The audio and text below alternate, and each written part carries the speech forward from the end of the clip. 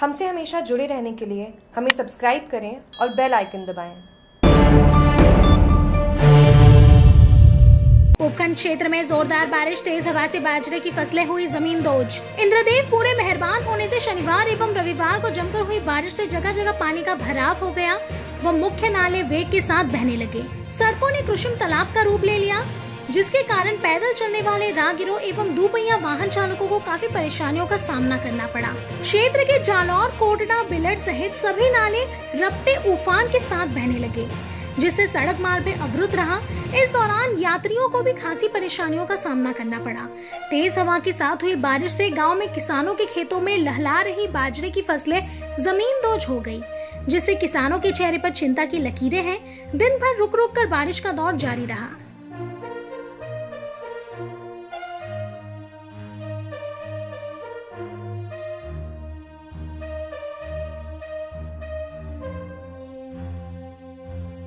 जागरूक टीवी के लिए रानीवाड़ा से मदन माहेश्वरी की रिपोर्ट।